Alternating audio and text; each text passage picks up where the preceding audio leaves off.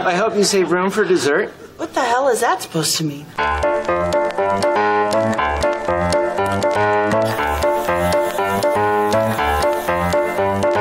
For dessert, I'll have dinner again.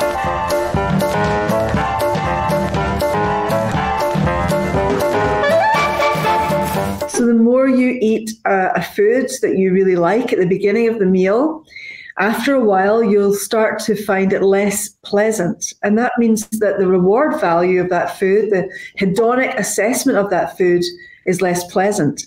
And then if someone comes along and uh, offers you a different food, perhaps a dessert, then you will have room for dessert because you may have uh, switched off of the hedonic uh, assessment of the savory food.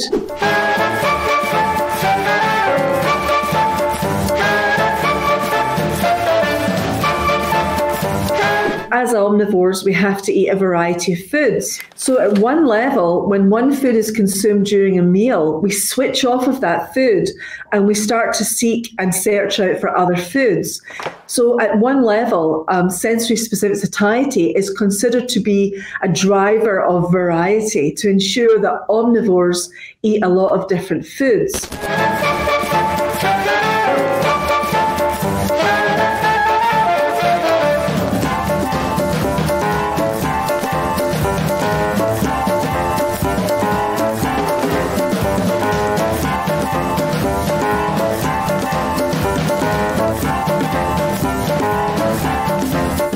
The scientific studies conducted by Barbara Rolls shows very clearly that if you feed someone a simple plain food as a first course and then offer a second course, they will eat modestly.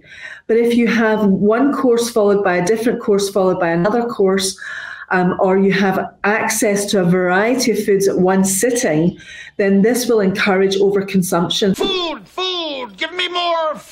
food. Oh. In today's society, we have so much access to very cheap foods. We have foods delivered to our door, and there's now a mismatch between the amount of energy that we need to expend to get those foods. We're not hunting and gathering anymore. So there's definitely a sense in which our sensory specific satiety and drive for variety might actually be counterproductive in such an obesogenic environment. So the solution is to eat um, simply and modestly. And it's good to eat a variety, but smaller portion sizes and to have a strategy and a plan in mind.